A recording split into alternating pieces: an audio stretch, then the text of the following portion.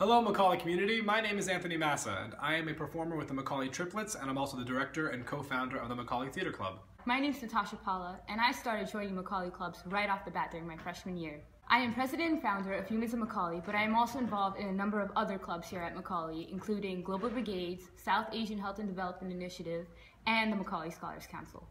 The amazing thing about Macaulay-wide clubs is the sense of community and family that they bring. I mean, what other college can say that they have eight other college campuses at their disposal? There are over 30 clubs here at Macaulay, and no matter what your niche is, our clubs are meant to be geared towards you. If there isn't a club that you have in mind, you can always start a new club.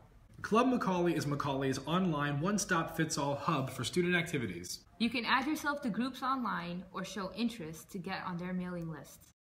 The calendar shows all the latest club events. If you're looking to join a club or even start a club yourself, then go visit our Club Macaulay page.